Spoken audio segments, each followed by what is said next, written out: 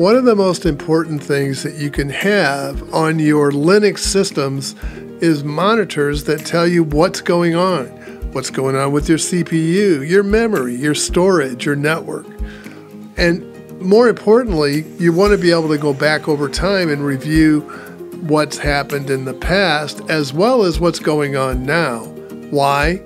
They alert you to things that are going on that could potentially be overloading your system. You might have memory problems that you are running out of memory or having issues with memory.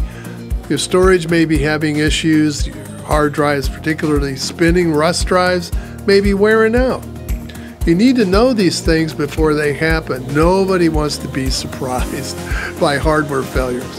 And so today, I'm going to show you using uh, the Performance Copilot tools and Grafana how to do that. You can put it together yourself.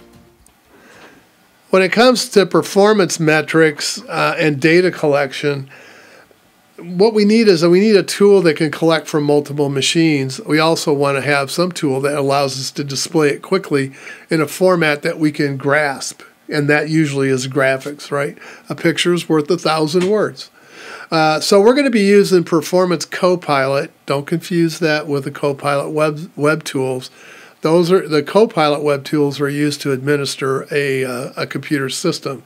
The Performance Copilot allows me to extract information from a lot of different sources in your system the kernel, the device drivers, your network cards, your storage devices, all of those things that can extract a lot of different telemetry from them. Save those in a time series form. What do we mean by that? Time series means that I'm collecting it from and posting it with the time and date that I collected it on. Why is that important? Well, it allows me to go back over time and see how the system is performing. Maybe how how was this thing performing a year ago as to compare to what it is now? That helps me to understand when I'm going to have to add additional resources in terms of hardware in order to satisfy the needs of the of the applications I'm running. That's as true it is as in production in corporate environments as it is for you at home. Don't you want to do you want to be surprised by oh gosh this this game i just got i can't run it. It doesn't my system isn't powerful enough to do it so what do we need to do this? Well the first thing i need is i need a distribution of some kind a linux distribution. You can you can run this uh, these tools on windows and mac os so if you want to monitor those systems, you, those you can, you absolutely can. But for today, what you will need in order to collect all that data is you're going to need a, a, uh, a Linux distribution that can be Red Hat, Fedora, Ubuntu, Debian, Gentoo, Arch. Unless you're getting out into some really esoteric uh, Linux distribution, you probably have the packages to do this. Oh, I always forget SUSE. Yes, SUSE as well. You can definitely do it on SUSE. I'm sorry, SUSE people. I don't mean to, to uh, neglect you. So you need two packages. The first one you need is the Performance Copilot package, and you'll need 5.1.1 or higher for that.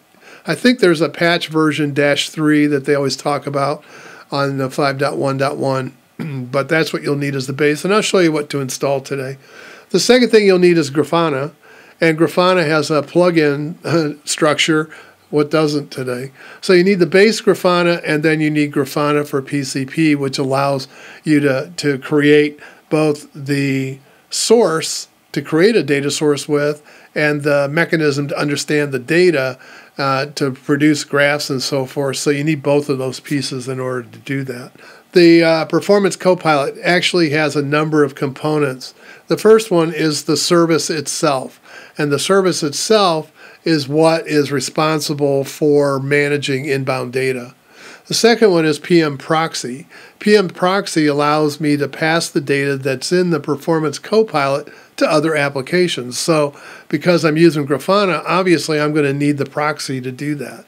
And the third piece is I'm going to need PM Logger, and PM Logger will be down the road. It won't be today, but PM Logger is used to collect data from multiple systems and then collect it all on a central point, and then I can then graph and figure out what's going on with those servers from there.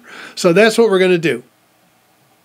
Okay, so I have 6.0, and I said I needed 5.11 or higher, so this is fine.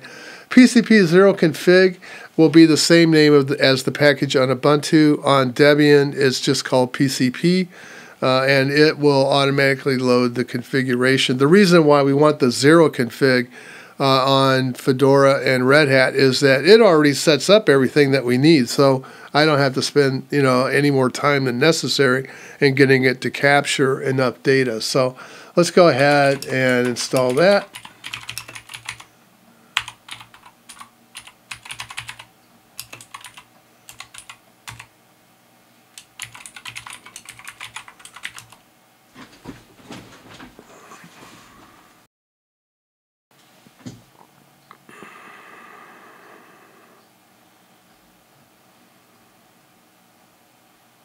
Okay.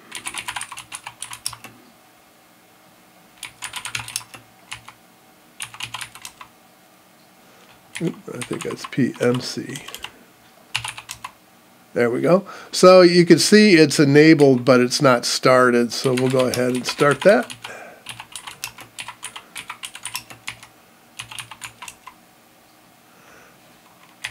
Check it It's running. What we want to do right now is just kind of run some tests to see if uh, if the performance copilot is installed and it looks like it might be working okay and that we have it actually running so that it is collecting data. So let's take a look.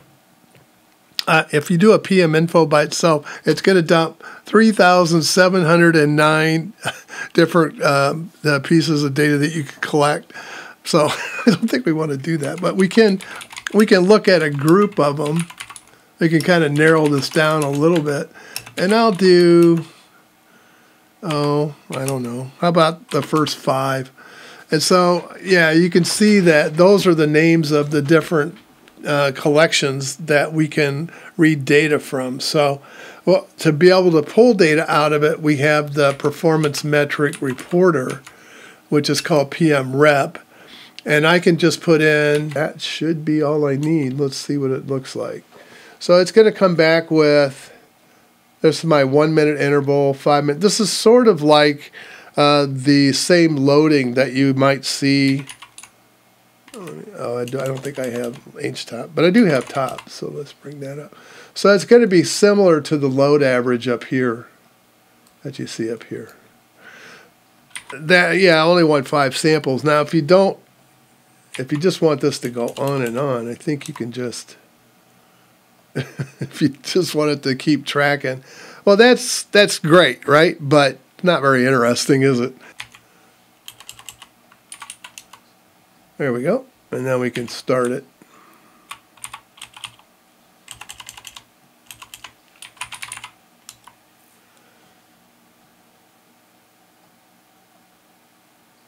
And we'll wait for it to come up if you're collecting information with PCP, uh, one thing I didn't say is that if you're collecting information with PCP, rule of thumb, you'll need about 100 megabytes of memory for every system that you're collecting from, and you'll need about 200 megabytes of data storage for per each system that you're collecting on. And don't forget to count the one that you're you're you're running Grafana on because you want to monitor that as well, obviously. All right, so I need to open up the firewall again for this.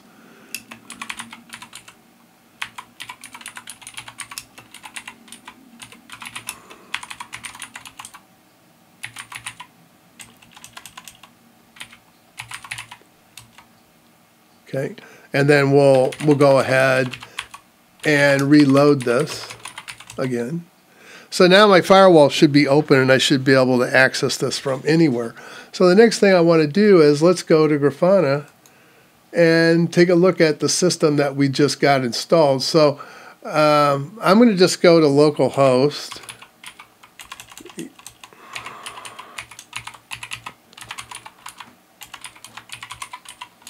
And it's on port 3000. For the first time to log in, log in as admin, admin. Yeah. Yeah, okay. And then the first thing it's going to say is, uh, hey, uh, you need to change your password, which is a really good idea. So I'll go ahead and do that.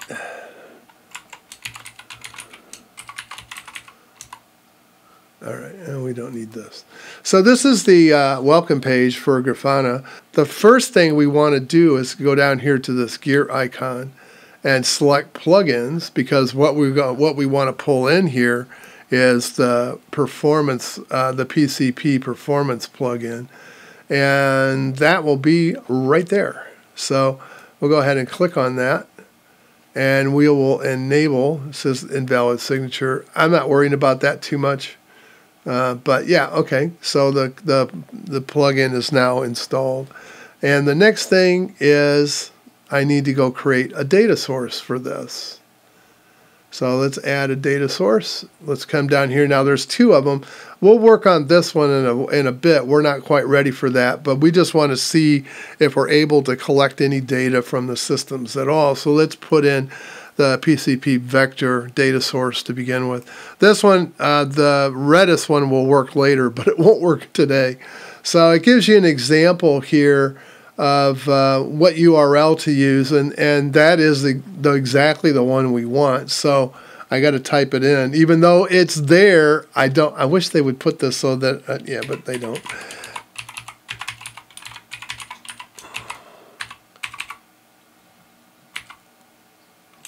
It's four four three two two. Pretty sure that's right. Let me just make sure. 44322. Yep. So then you'll want to do a save and test and make sure that the data source is working. And it looks like it is.